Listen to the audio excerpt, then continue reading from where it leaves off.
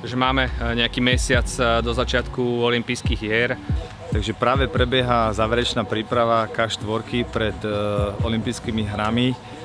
V podstate začíname už ten úplný vrchol tej prípravy pred, pred samotným pretekom. Tak veľká vďaka NSC, lebo to bol ich iniciatíva, ich nápad, aby našim atletom pomohli na tú aklimatizáciu do Tokia.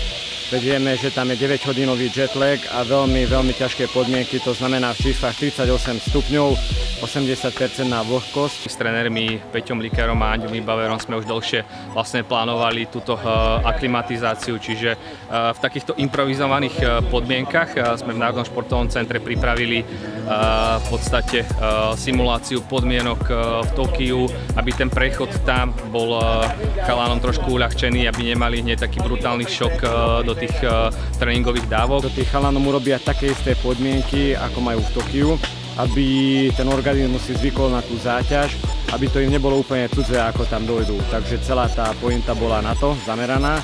Teraz chalani majú veľmi ťažké, že po tých hlavných tréningoch ešte tu musí absolvovať tú hodinu. Od začiatku sme to stupňovali po nejakých 15 minútach, boli sme že 30 minút prvýkrát, potom 45 a teraz sa držíme na hodine. Je to náročné, jakmile vojdeme do toho stanu, hneď, hneď nás teče, takže musíme veľa piť. E, ten príjem okolo, e, ten príjem tých tekutín za tú hodinu u mňa je nejakých liter a pol, liter 700 vypijem a v podstate to aj schudne.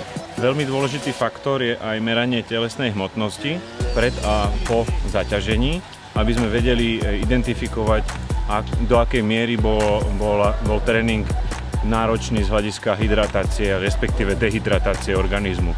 Tá záverečná príprava alebo ten úplný finish pred štátom uh, nám uľahčí to, aby sme podávali tie maximálne výkony. A celé to k tomu smeruje a to, čo tu teraz je, tá, tá obrovská záťaž, tak to v tom závere teda dúfam, že nám pomôže a budeme výborne pripravení smerom ku štartu na olympijských hrách. Tak v podstate teraz je to ťažké trošku.